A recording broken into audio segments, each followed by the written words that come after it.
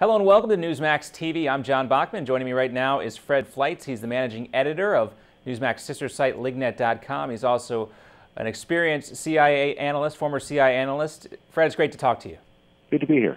All right, so the breaking news out of Venezuela is uh, Venezuelan former President Hugo Chavez has, has died after a long battle of cancer. Talk to us about what this will mean uh, in the short term in Venezuela and elsewhere in South America. Well, uh, Chavez had named his uh, vice president uh, Maduro as a successor, and I think it's likely that elections Nicolas Maduro will, will probably be the the uh, front runner to win. Uh, there, there's a lot of uncertainty as to how the, the elections will take place. Under Venezuelan law, if the president dies within the first four years of a six-year term, elections have to be held within 30 days. However, um, uh, Chavez was arguably not really the president because he was not sworn in on January 10th as he was supposed to be legally. They simply gave him the pass. So right now it's unclear whether Maduro is actually the vice president and exactly how they'll proceed. I have a feeling they'll just assume Chavez was vice president and they will have elections in 30 days. And because of a sympathy vote for uh, Chavez, Maduro is likely to win.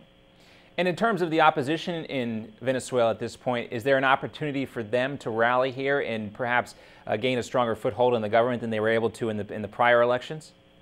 They're going to work hard at that. Henrique Capriles Radonski uh, did surprisingly well in elections last fall, and it looked like he had a lead for a while. There were some allegations that there was some uh, maybe some electoral fraud or some pressure brought on voters to to to win Chavez's victory. He certainly spent billions billions buying houses and basically using this to, to buy votes to win the last election. I, I think the sympathy vote is going to give an advantage to Chavez followers, but the economy is in such terrible shape.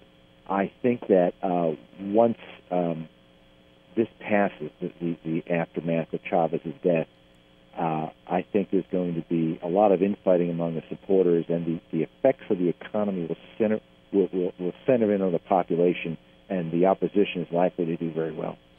In, in other countries in South America, there's obviously no shortage of left leaning, uh, either dictators or presidents, uh, however you want to define that. Is this going to change at all the, the makeup uh, or the uh, dynamic in South America in terms of, of power? In the short term, it probably won't because I think Maduro will continue Chavez's power, but uh, Chavez's influence and his policies. Um, but Maduro is not the charismatic figure that uh, Chavez was. He's not going to be able to promote the Chavez movement the way he did. He doesn't. He's a younger member of Chavez's uh, entourage.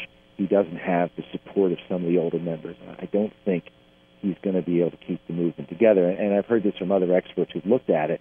So in the short term, the very sharp uh, anti-American approach by Venezuela that they've been pushing in the hemisphere I, think that's going to that's going to be unchanged, at least in terms of Venezuela promoting it. But over the long term, I think there's some potential for the United States to work with elements in Venezuela to maybe to promote some more moderate leaders. Yeah, and it's certainly a, region we don't hear as much about, not as much as we should, I'd venture to say. I also want to talk about, Fred, what this means in terms of the, the dynamic between Venezuela and Cuba. Some people would say that the Chavez had been the de facto leader of Cuba uh, as well or I'm sorry, uh, the other way around. Um, how does this impact the dynamic between Venezuela and Cuba and in, in a broader sense towards the United States? This is a very important angle. Cuba is dependent upon uh, Venezuelan oil, much of which they purchase through barter by providing Cuban doctors and services to Venezuela. Cuba can't borrow money uh, in international financial markets since it defaulted on loans about 15 years ago. So they're sort of in a dire situation in terms of energy. So they're very dependent on on Venezuela for oil. And I, I think it's certain that that Cuba's very worried right now. They're going to do everything they can to try to hold together the Chavez coalition in Venezuela. Uh, well, this certainly does uh, set a lot of uh, parts moving here in, in the whole scheme of things, and uh, we'll have to, to uh, see where things go from here. Fred Fleitz, good to talk to you again, and take care. Good to be here.